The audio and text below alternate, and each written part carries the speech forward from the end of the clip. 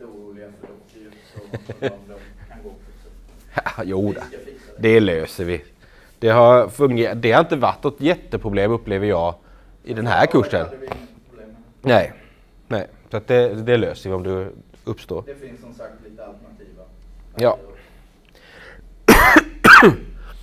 Eh, ja, här ser vi då egentligen, och det här är ju en sammanfattning av de grejerna som vi tycker är ni behöver eh, känna till eh, inför den här kursen.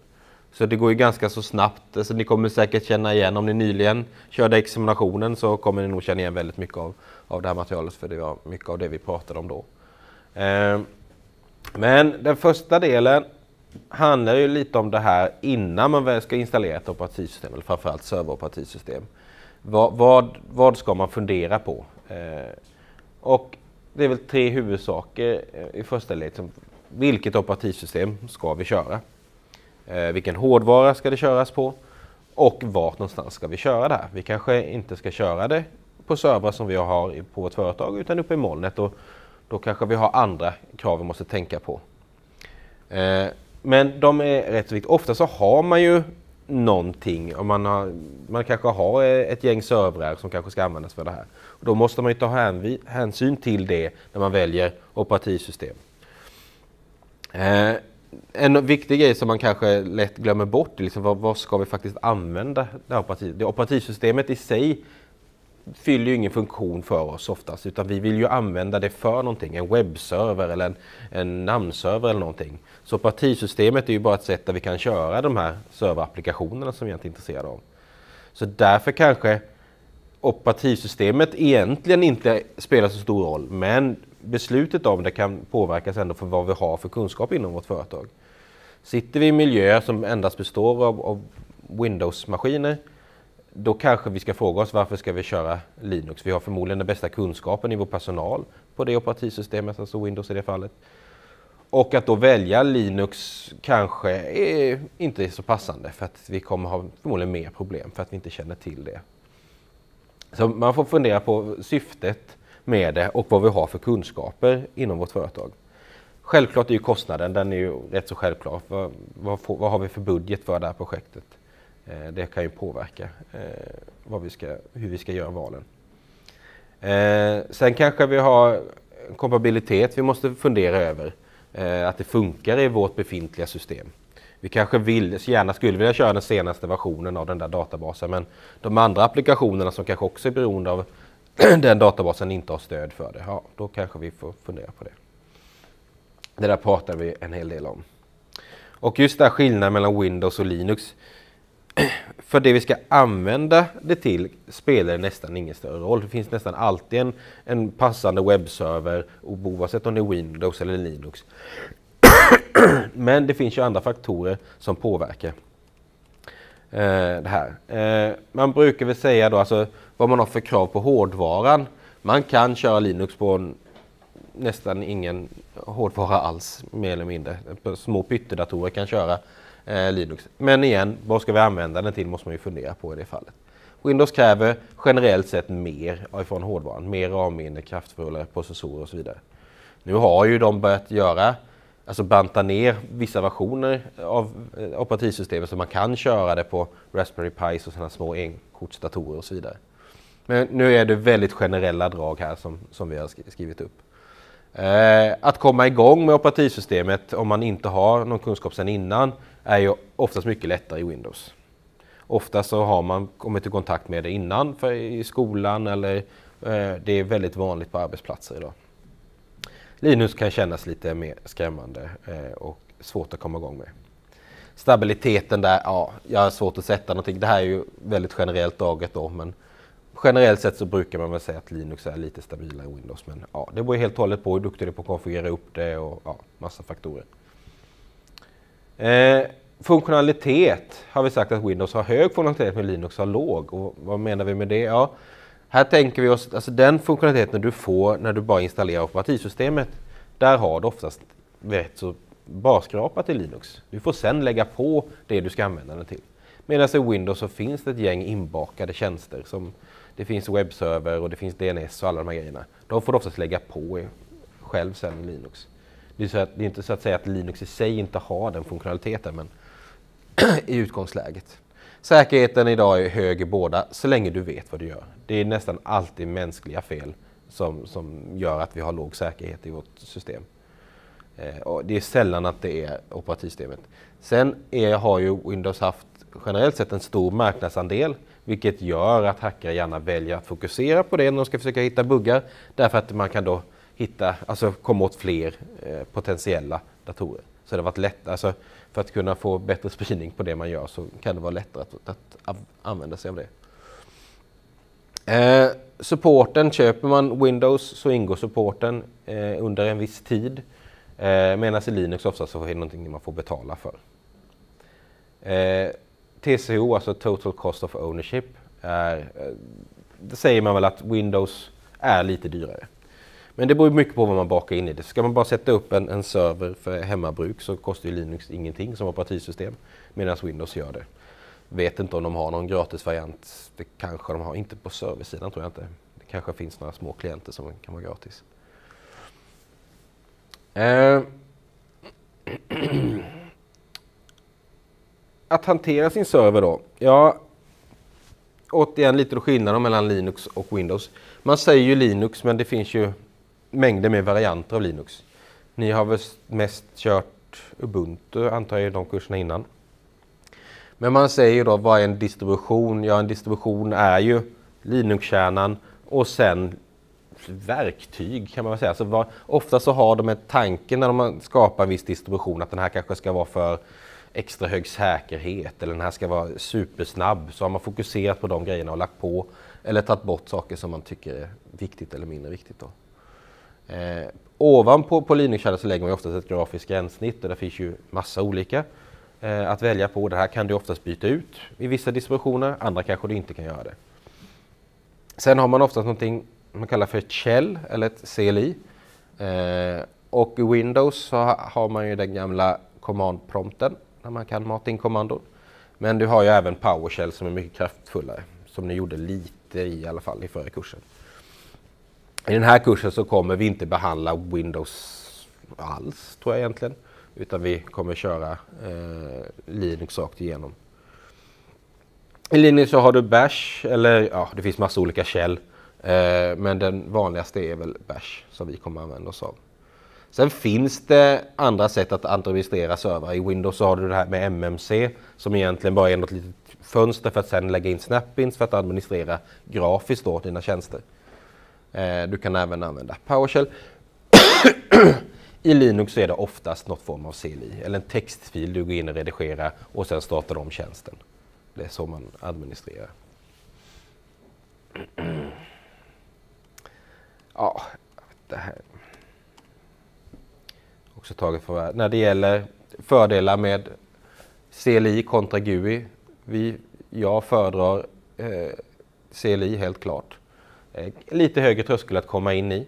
Eh, men du får oftast en mycket snabbare, eh, du kan skripta det, du kan liksom få en historik på vad det är du har gjort på ett helt annat sätt än om du har ett grafiskt gränssnitt du klickar i. Eh, så jag ser nästan bara fördelar. Vi har väl satt ett minusblock på multitasking. Oftast kan du inte i en och samma terminal exekvera flera kommandon samtidigt men du kan ju öppna upp flera terminaler om någonting som tar tid. Så att jag föredrar alltid CLI och hoppas att ni också gör det. Eh, går man till Bash så har inte det särskilt mycket kommandon egentligen inbyggt. Jag tror att det här är alla kommandon som finns i som Bash-programmet eh, består av. Sedan så använder ni massa andra, men det är alltså exekverbara filer som ni exekverar. Som ping eller nslookup eller någon sån här kommando. Det är ju egentligen ingenting som finns i bash utan ett program som exekveras och tar ett gäng parametrar och ekar ut någon form av feedback tillbaka. De här hoppas jag att ni lärde er när ni sitter i terminalen. Eh, kort, eller kommandon som gör det mycket lättare. Oftast när man kanske ska redigera ett kommando man körde och väl byta ut några grejer så kanske man vill hoppa till slutet eller början. Ja, då kan man använda Ctrl A och Ctrl E för att hoppa till början och slutet på den raden du står i. Eh, ja, du kanske vill klippa ut slutet på den. Då har vi Ctrl K som är användbart. Eh, det finns faktiskt undo i terminalen som kanske inte många känner till. Ctrl understreck, man väljer att kalla det. Och sen har ni, ni har säkert lärt er i alla fall att upp och ner byta, där kan du bläddra mellan kommandon har du gjort. Och tab så kan du få autocompletion på många kommandon. Eh, du kan även söka historiken bland kommandona. Du kanske istället för att sitta där och bläddra upp hundra gånger så kan du skriva Ctrl R och sen börja skriva på någonting som finns med i det kommandot. Det kanske är att du körde någon apt-get install, då kan du bara skriva Ctrl R och sedan så kör du apt så får du upp en lista på de kommandona som innehåller det. Eh, ja, repetera senaste kommandon, utropstecken, utropstecken. Och självklart då Ctrl C, det har ni säkert använt. När man kör ett, ett, ett skript eller någonting som inte avslutar korrekt eller du vill avsluta din, den körningen du håller på med innan den är färdig så är Ctrl C väldigt användbart. Använder ni av de här i förra kursen någonting? Mm. Men det här är en bra, så skriv ut den och ha den vid sidan av tangentbordet eller någonting, det är användbart. Jag tänkte faktiskt att vi hoppar över Windows-delen, vi kommer inte jobba så mycket med den i den här kursen. Vi pratade om någonting som heter Post Setup. Alltså vad vi gör efter precis vi installerat vårt operativsystem, har vi något steg innan vi kan verkligen börja använda den till det vi ska ha den till. Och det kan vara, är det en fysisk maskin så installerar vi drivrutiner för eh, olika tilläggskort vi kanske har till den. Någonting som heter ett chipset som är drivrutiner för moderkortet och dess funktioner, vad det har där. Eh, man måste sätta ett datornamn, konfigurera nätverk, eh, lägga på uppdateringar och dokumentera den här otroligt roliga punkten. Men man glömmer väldigt fort bort vad det är man gör. Så att ta för vana att när ni sätter upp en server, ha ett litet dokument vid sidan av och skriv ner vad du gör. Är det Linux, du sitter och gör grejer, ja men kopiera kommandona, du behöver kanske inte skriva så mycket mer än det, Då får du ändå en historik vad det är du har gjort. Eh, så det rekommenderar jag starkt. Så sen efter det här steget, ja då kan man börja installera vad det nu är man vill köra, använda på servern. Ofta så kommer ni ju till det här steget, post-etappen är ju färdig när ni skapar en maskin i vårt moln, mer eller mindre.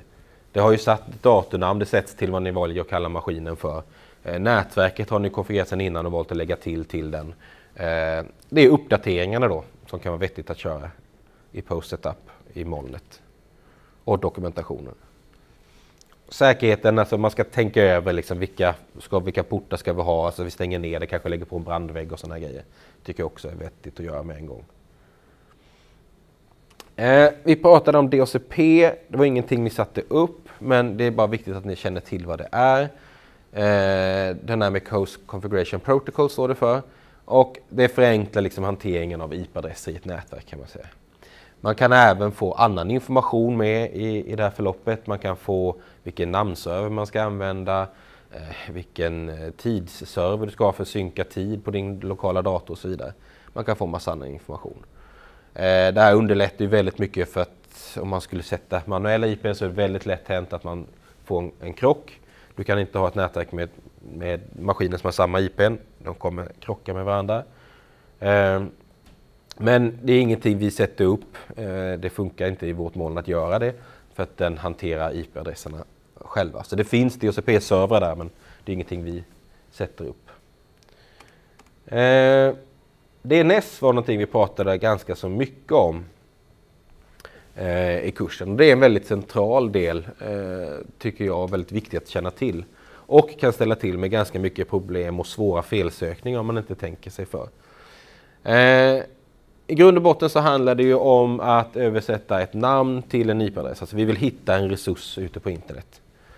Eh, och det har ett trädliknande struktur Eh, det finns lite begränsningar som inte...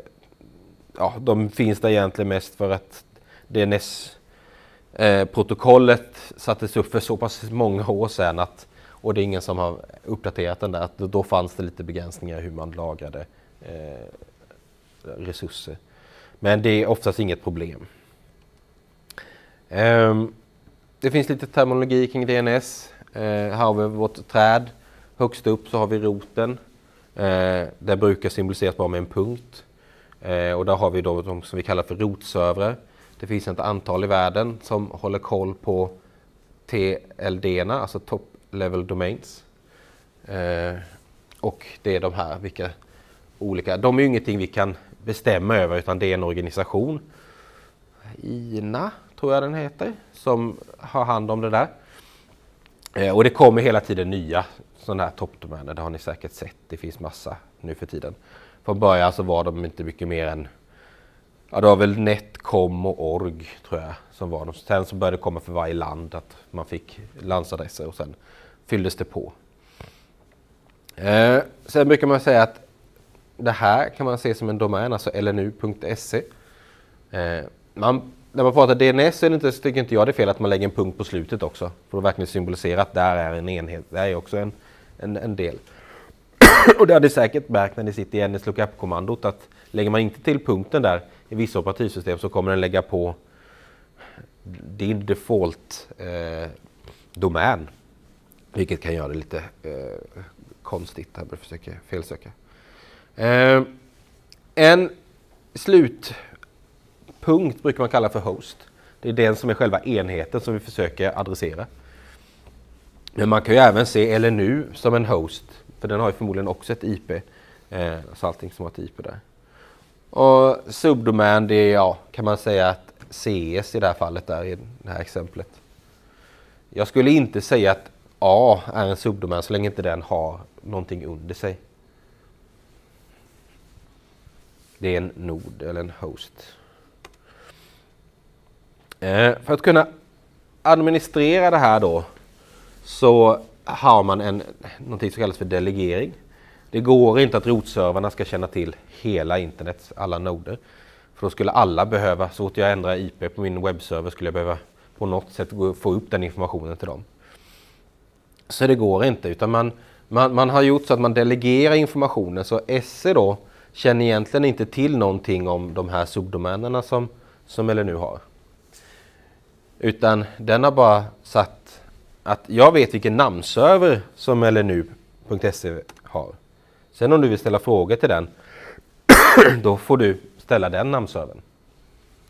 Eh, och man kan även då internt för den domäner som man har köpt skapa subdomäner eller underdomäner och delegera ansvaret.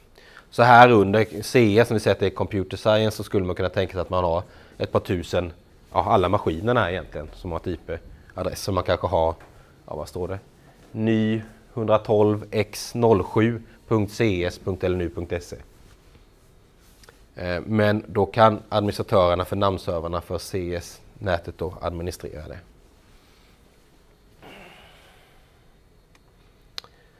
Eh, ja, det är lite skillnad på zoner och domäner.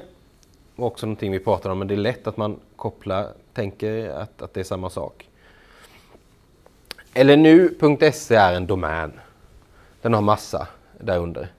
Eh, men om man kollar på zonen eller nu.se så innehåller den bara förmodligen information om delegeringarna till de olika underavdelningarna. Den vet inte om vi har att den här ny 227x02 finns under CS. Utan alla frågor som den får som rör den subdomänen har den bara namnserverinformation till. Och därför kallar man då att att det här är en zon för att namnservern i sin fall den laddar bara zonen, den laddar inte hela domänen. Domänen innehåller all information kan man säga.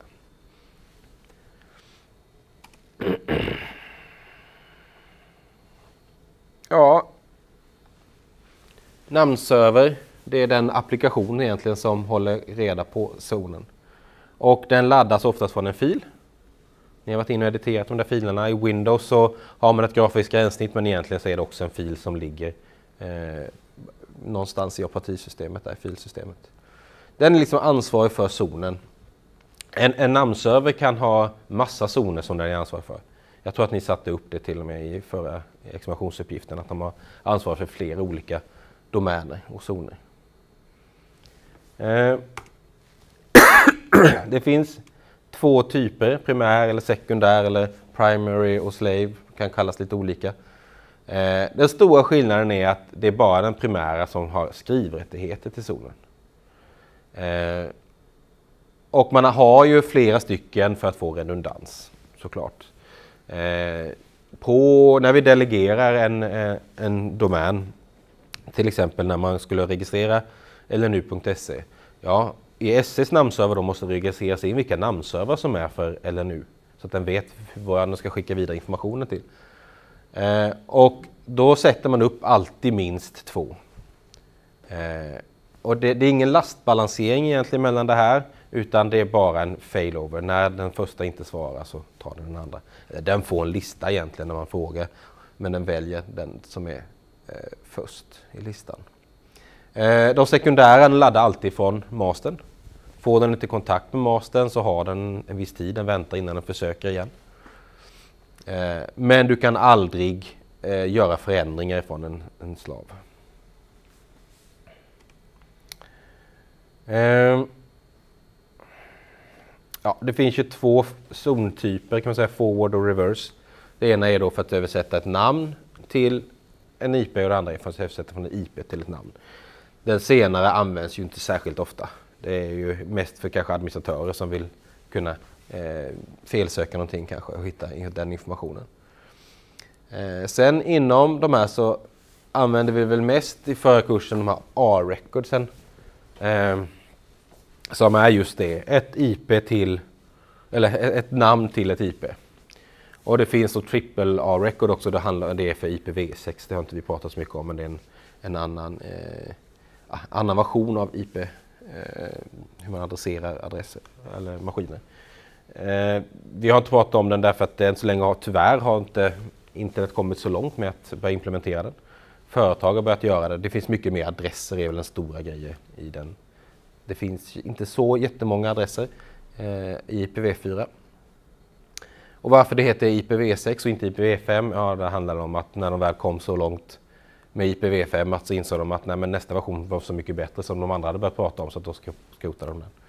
Men den var, standarden var färdig för kanske 10-15 år sedan och ändå så har vi inte kommit mycket längre än vad vi är idag. Eh, mm. CNAME är alltså egentligen bara ett alias. Men det är väldigt vettigt att använda sig av det tycker jag, speciellt om man har Vi har en server som har massa olika uppgifter. Den kanske hostar åtta webbsajter, den kanske är, är namnserver och så vidare. Det kan ju köra många av de här eh, serverapplikationerna samtidigt. Eh, då skulle jag i så fall skaffa ett, ett A-record för den maskinen, eller det IP som man har för den. Den kanske vi kallar för ja, server eh, 2 eller vad vi nu vill kalla den för. Så får den IP-adress. Och sedan så gör vi C-names för alla tjänster som den här sen hostar. Som pekar på server1.lnu.se. Och fördelen med det är att om vi skulle behöva byta IP på den här maskinen då kommer det påverka alla de här tjänsterna som den hostar. För det är den man egentligen kontaktar, det är IP-adressen. Och då behöver vi bara ändra vårt A-record med IP-adressen och alla andra då tjänsterna kommer att automatiskt få rätt. Det är inte så att den gör en redirect. Alltså om vi skriver www.lnu.se som egentligen då pekar på lnu.se så kommer den inte webbläsaren byta ut det där till bara lnu.se. Utan det där handlar bara om namn, uppslaget av namnet till IP-adressen. Så det görs i bakgrunden. Och du kan ha ett alias som går till ett alias som sen går till ett IP det påverkar inte. Ja, uppslaget går ändå igenom och du får IP-adressen tillbaka. Så ser ni med någonting jag tycker att ni kan börja använda lite mer. För jag såg inte så många som gjorde det uppgiften. NS Records, ja det är alltså vilket, vilken är namnserver för den här domänen. Eller zonen. Eh, så att man kan säga att, att man för CS så har man ett namnserver. Och där kan man ju ha flera stycken records då. Som pekar på olika namnserver. SOA-recordet pratar vi om, alltså Start of Authority. Eh, där har vi mest den spesat ett gäng olika informationer för zonen. Eh, det är vilken namnserver som har bäst information, oftast då mastern. Eh, du har även vem som är ansvarig ska man spesa där. Man ska försöka skriva ut en mailadress eller något sånt där. Eh, och mycket information om hur cachning ska funka för zonen och för de olika recordsen. Hur sekundära namnserver ska agera när de inte får kontakt med den. Eh, och ett serienummer finns det också. Vi kommer lite till det senare. MX Records, bara lite snabbt, det är bara för att veta vilken som är mailserver för domänen. Du, mailservern kanske heter något sådär fint som e-mailfilter03.sunet.se. Du vill ju inte behöva skriva jakob.lindehoff.mailfilter03.sunet.se. Och för att den ska veta då vilken som går för eller nu så har man det här specifika recordet. Och här kan man även sätta prioritet. Du ser, det står någon siffra här emellan. Det handlar om hur mycket last den ska lägga på en viss eh, mailserver. Då. Det är ingenting vi tittar på. Pointer är det här omvända då, IP till namn. Text record finns som en för att kunna lägga extra information men oftast för, för underliggande tjänster, det är ju inte för vanliga eh, människor. En zonfil eh, ser ut så här i bind i alla fall. Ska vi se om det är, nej det är alltihopa. Eh, man behöver inte ha alla de här, det här är ju kommentarer som ni ser de gröna grejerna med, med semikolon efter. Man kan skriva ihop allting på en enda rad men det blir lättare att se det när man gör så här. Eh, I Windows så, man kan inte ta dem direkt rakt av och lägga där men de är väldigt snarlika. Eh, och jag kan inte svara för någon annan namnserver heller eh, som inte är Bind. Det här är just Bind men de är väldigt lika varandra i alla fall. Eh, det intressanta är väl just de här bitarna. Att det är lätt att man tabbar sig lite framförallt med den här negative time eh, cachen och TTLen. Kommer du ihåg vad TTL var för någonting? Time to live viskas det lite, precis. Alltså det är standard TTLen för alla våra records. Alltså när jag ställer en, en fråga om ns1.example.com hur länge får vi casha det resultatet? 300 sekunder, 5 minuter alltså. Sen måste vi fråga namnservern igen. Sätter man upp den där till, jag vet inte vad standarden är, 80 640, det är typ en vecka eller något sånt där.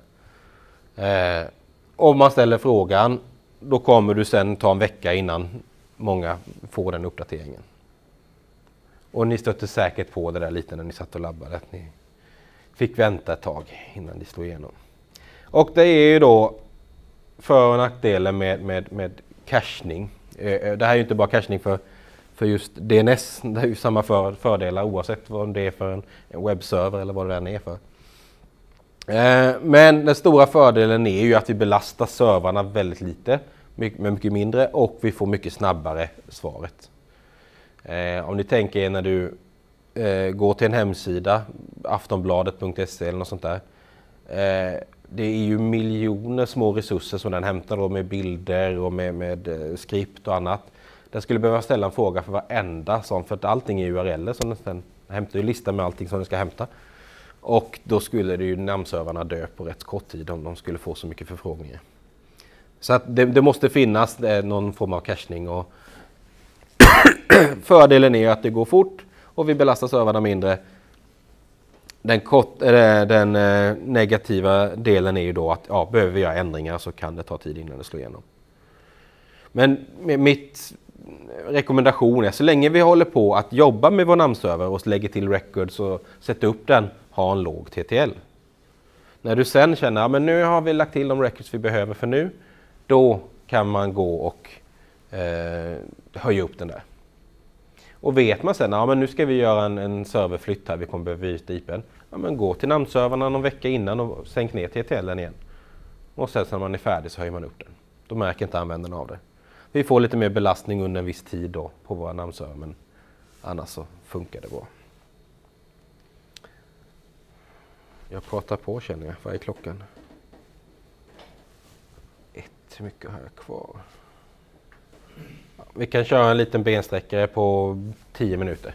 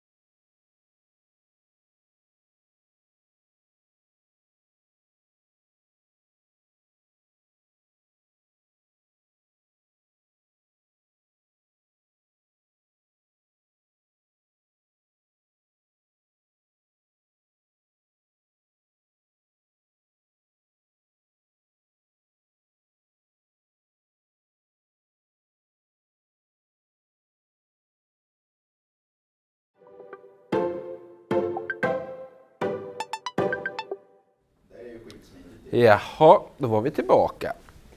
Eh, vi pratade DNS. Eh, som jag ser det så är det ju två användningsområden till DNS.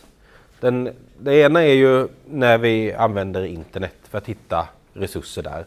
Och fr framförallt så är det ju hemsidor, eh, webben. Eh, och om man då vill sätta upp en server som man ska kunna komma åt eh, ifrån alla världens uppkopplade datorer så får man köra det här tillvägagångssättet. Man sätter upp en namnserver, eller två egentligen. Man måste ha en sekundär, det är nästan inga sådana här leverantörer från toppdomänerna som, som säljer utan att ha två stycken. Så du sätter upp den först och konfigurerar upp din, din namnserver som den ska vara. Eh, och sätter upp en sekundär. Sedan så använder du någon form av registrator. Det finns alltså vissa eh, företag då som har rättigheten att registrera in delegeringar på toppdomänerna.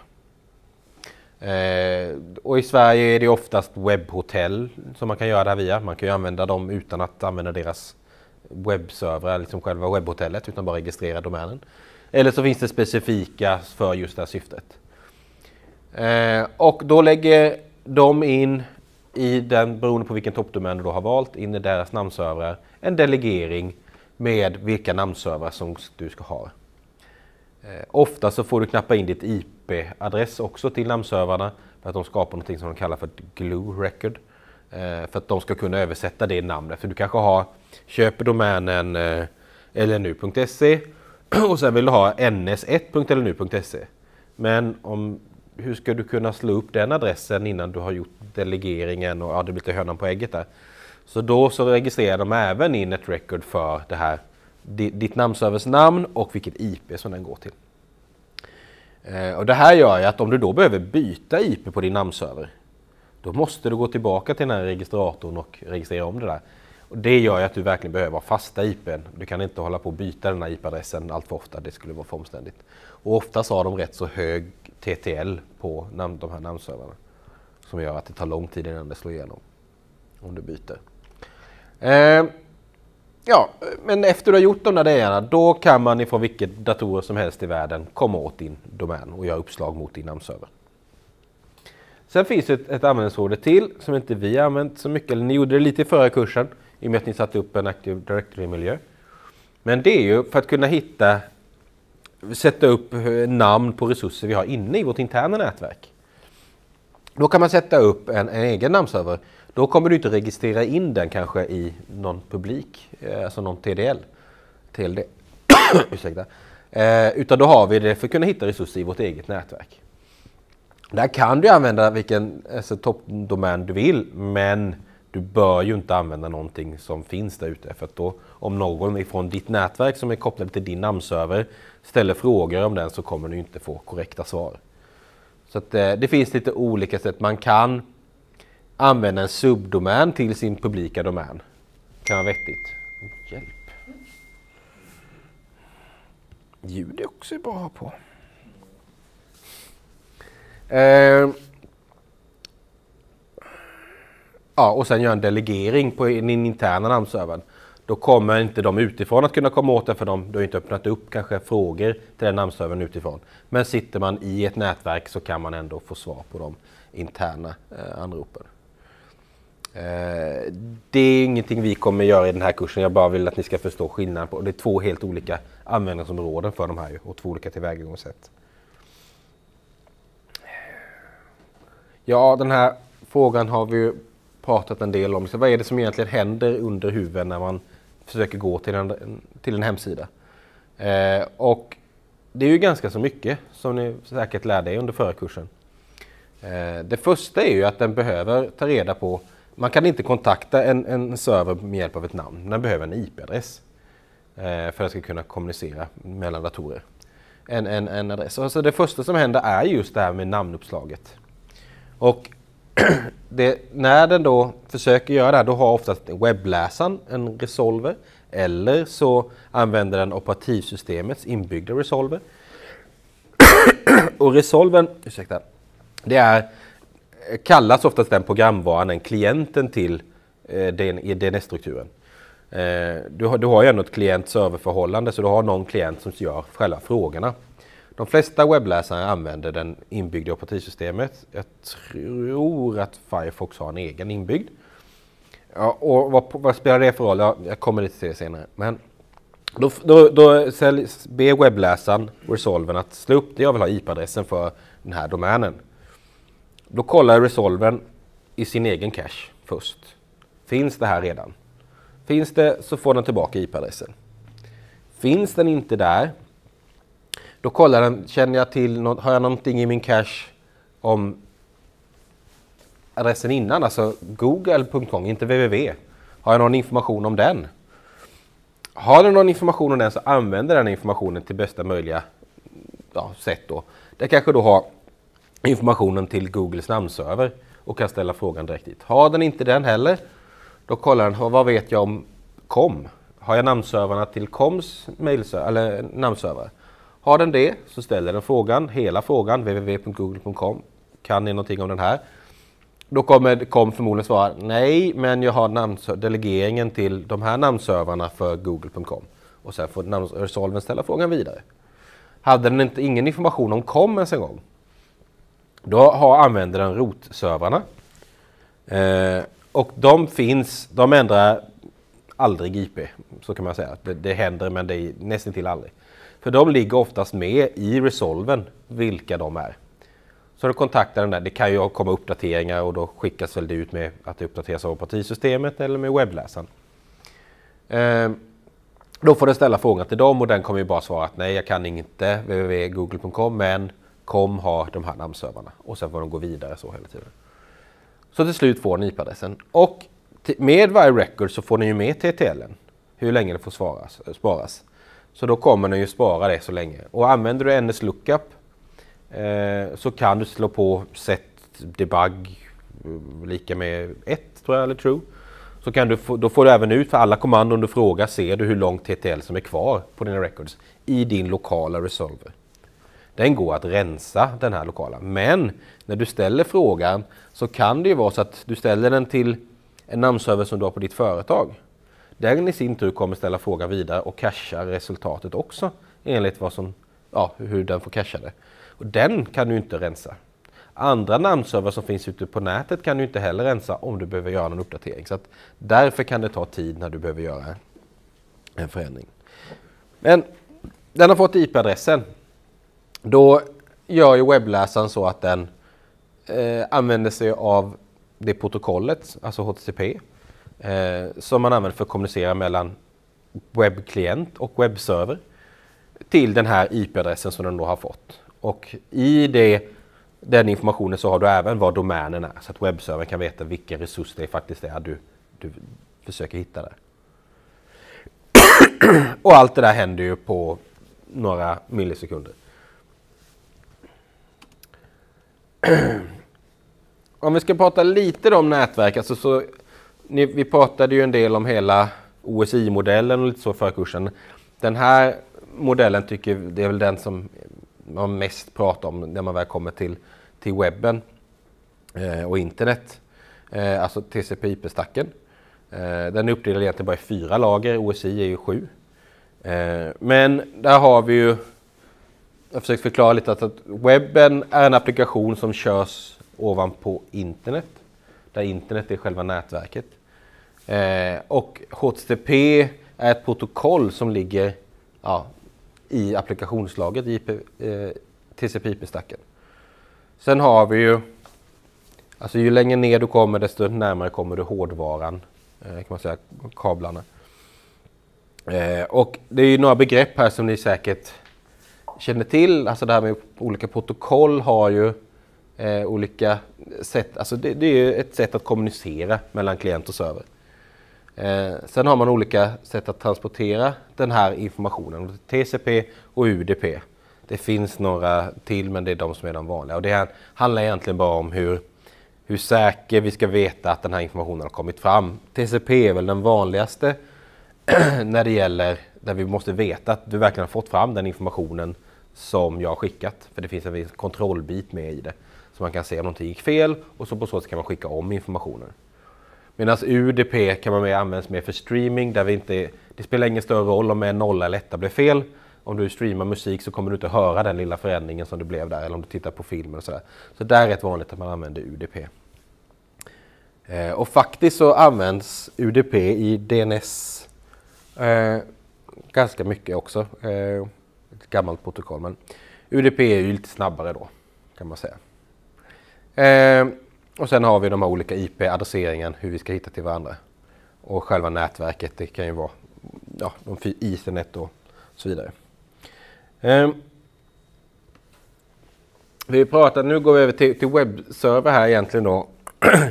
Men klient, server, eh, tänket är ju detsamma egentligen i DNS eller all, alla sådana här klient-server-förfaranden. Man skickar oftast en förfrågan och man får någon form av respons tillbaka. Hur de där requesten ser ut och responsen, det är ju det som är själva protokollet. Alltså att vi pratar ett visst språk med varandra som vi förstår. Eh, klienten vet att han ska ha ett visst, en viss information med när han gör sin request, så att servern vet hur han ska behandla det här förfrågan för att kunna skicka tillbaka. Och I HTTP så standard så har vi egentligen ingen, det är ett stateless som vi pratat lite om och kommer prata mer om det i eh, andra kurser framöver. Men alltså när klienten har skickat sin förfrågan och servern har levererat den, då minns inte varken server eller klient mer om den informationen. Alltså den har ingen state, den vet inte att den här klienten har begärt den här resursen innan. Eh, så, och det finns ingen inbyggd eh, säkerhet egentligen i det. Så det är ingen kryptering eller så i, i själva protokollet. Det är någonting vi lägger på sedan med, med SSL och HTTPS. Lite statuskoder eh, som kan vara lite vettigt att känna till. Eh, de är eller, eh, uppdelade i olika grupper. Eh, det pratade vi också lite om i förra kursen. Eh, ni har säkert stött på 200 som är liksom att allting har gått, och, gått bra. Men sen finns det även en del sådana här redirection att vi har vi byter, eh, den här resursen finns inte här längre, den finns på den här adressen. Och det används, eh, det kommer ni använda lite i den här kursen, bland annat när vi vill byta ifrån okrypterad trafik till krypterad. För då måste klienten göra en ny förfrågan och då gör vi oftast det genom att man skickar en redirect. Att, nej, du ska inte gå till www.lnu.se, du ska gå till https www.lnu.se. Ja, webbservern, ja, det är en server som förstår sig på HTTP. Eh, och dess uppgift egentligen är ju, man kan ju se det som en häftig filserver egentligen. Den har ett gäng resurser som man kan begära ifrån den här URLen. Det är egentligen det den gör. Eh, och det var ju det den gjorde från början. Den var tänkt till att egentligen kunna ge ut information till, till många över internet. Eh, så den har de här lagrade. Men det använder vi inte så, ja vi använder det jättemycket egentligen den funktionaliteten men ofta så lägger man ju på någon form av eh, någon server, annan typ av serverteknik där vi kan prata, skriva eh, mer avancerade program för det här. Eh, och där har vi ju Node.js, vi har eh, POP och ASP.NET och så vidare. Det finns ju massa server.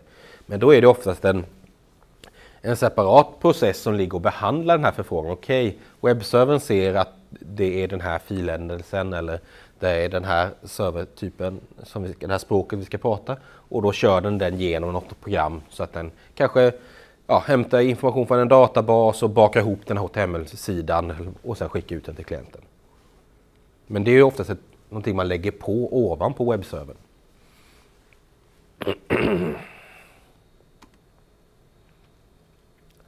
Lite terminologi eh, som finns som kan vara bra att känna till.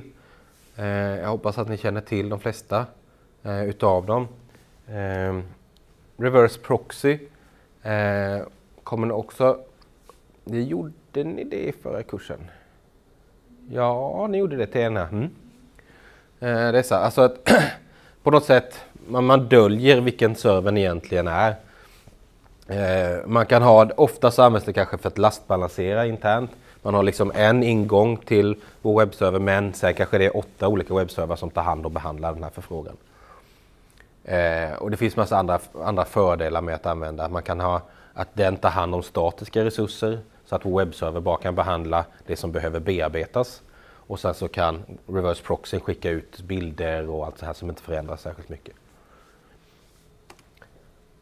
Eh, virtual hosting är ju egentligen eh, för att en webbserver ska kunna eh, hantera flera eh, sajter på en och samma server. Vi har ju i, i vanliga fall, man tänker det som egentligen händer att vi, begär ju IP-adressen för att kommunicera. Okej, okay, jag vill ha en resurs från den här IP-adressen.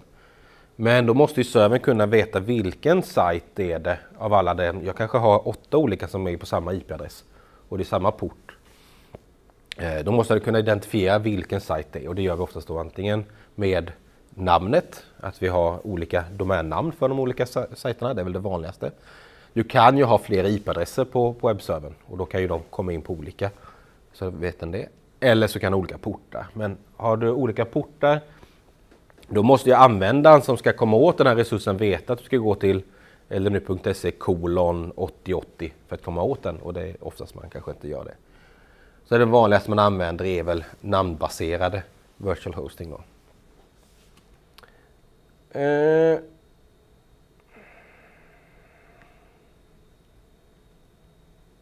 Kanske rensar undan lite där. Ja. Lite snabbt om... ja, vi pratar ju inte jättemycket kryptografi i de här kurserna. Ni kommer läsa internetsäkerhet om ett år tror jag. Jag tror att den är antingen första eller andra läsperioden i årskurs 3. Där kommer det bli mer eh, kryptologi. Men lite grunder behöver ni känna till eh, eh, för den här kursen. Vad använder man eh, det till då? Ja, det finns ett fall. det självklara är väl då eh, att man vill skicka information utan att man vet att det är bara någon annan som kan läsa. Eh, så alltså kryptering. Eh, man kanske också vill veta vem det är som försöker hämta, alltså identifiering. Eh, vi vill kanske veta att det här meddelandet vi ska skicka inte har förändrats på vägen. Eh, när vi kommunicerar så kan ni vara rätt så självklart inte informationen jag säger, ja, ni som sitter på distans där kanske det är annorlunda, men man pratar med varandra, det är rätt så självklart att, att det jag säger är det jag säger, det har inte förvrängts på vägen. Men när vi använder en annan kanal, alltså internet, så kan det ju vara någon som lyssnar av eh, och kan förändra meddelandet. Det vill vi kunna göra. Sen den här sista non-repudiation, det handlar om att om vi säger att vi har ett, eh, ett kontrakt som jag vill att du skriver på och sen så eh, säger du att nej, jag har inte skrivit på det där.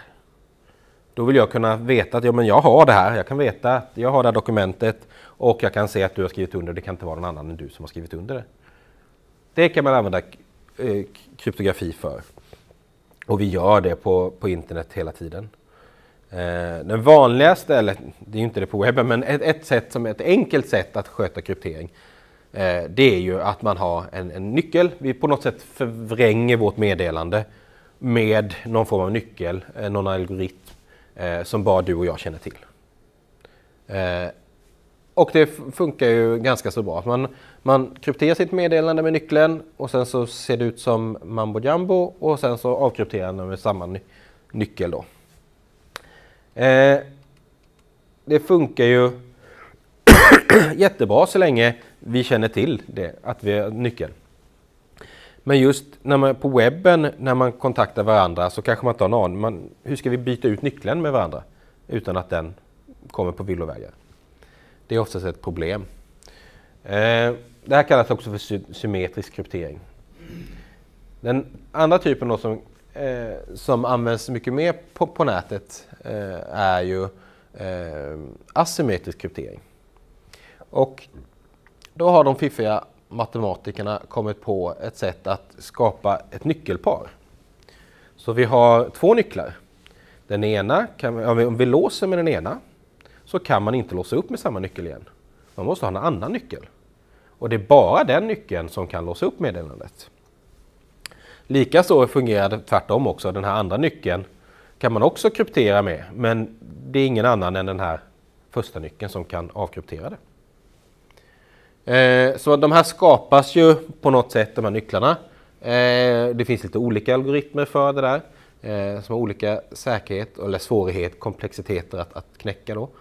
Eh, och sedan så kan man använda den publika, man kallar det då för, egentligen är det bara två nycklar, men man brukar kalla en för publik och en för privat.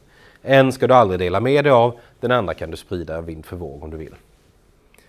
Eh, och sen används det där då eh, på olika sätt för att lösa de här första eh, problemen som vi hade. Jag kan ju använda det då genom att om vi säger att eh, jag sprider ut min publika nyckel till er. Då kan ni kommunicera med mig på ett hemligt sätt så ingen annan kan läsa det. Det gör ju också att ni kan ju då göra så att okej, okay, ni hämtar min publika nyckel. Sen så skapar ni ett slumpmässigt stort tal. Eh, krypterar det med den publika nyckeln, då är det bara jag som kan se det där talet. Och då kan det vara vår asymmetriska nyckel. Så då kan vi börja skicka meddelanden till varandra utan att någon annan kan läsa av dem. Eh, sen kan man också veta om jag har ett dokument till dig eh, och sedan så säger du att du, du måste skriva under det med din privata nyckel.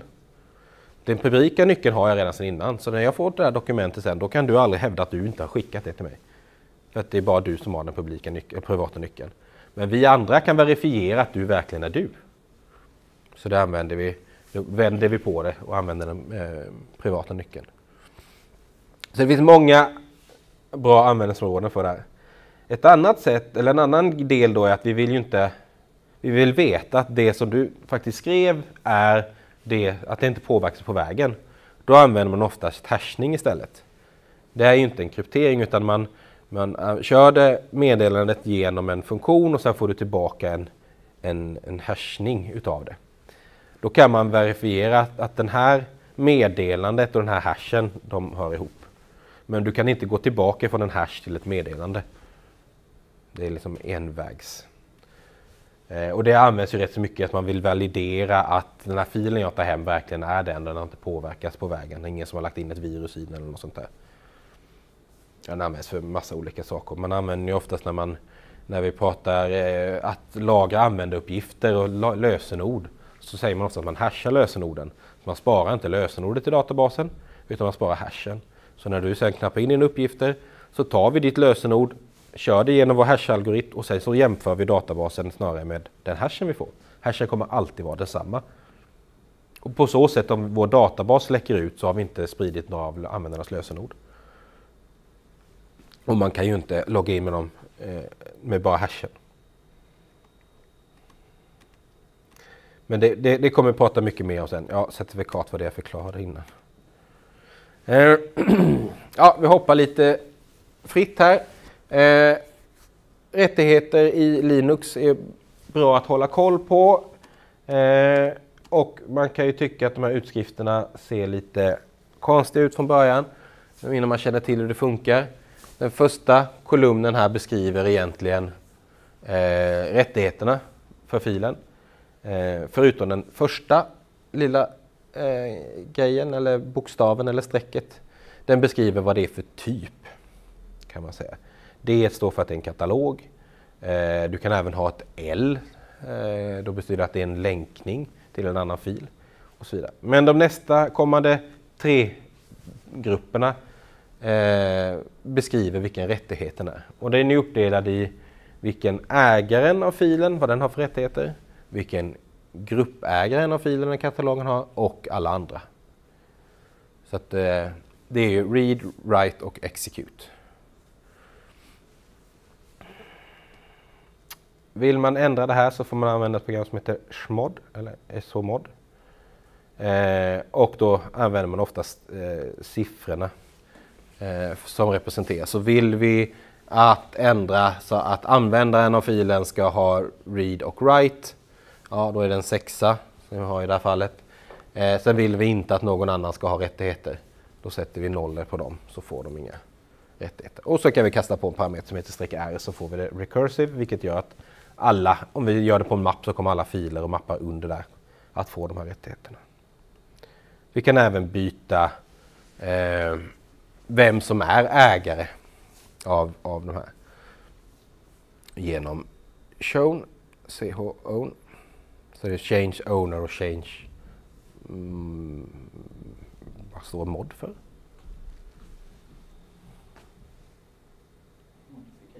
Ja, fast vadå? Change borde ju SO stå för. Mode. Ja, det får jag slå upp. Eh, det här kommer ni använda en hel del liksom i kursen. Eh, det är en timmes snabb genomgång av slutet på förra kurs. Jag hoppas att inte det var nytt för er, för då, då blir det jobbigt. Eh, och det kanske är lite tråkigt att höra det igen, men oftast behöver man en liten uppfräschning innan man drar igång.